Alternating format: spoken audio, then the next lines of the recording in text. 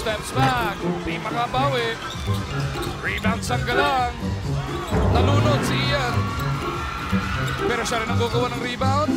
Sobra naman. Sa Ian again. Ayaw talaga.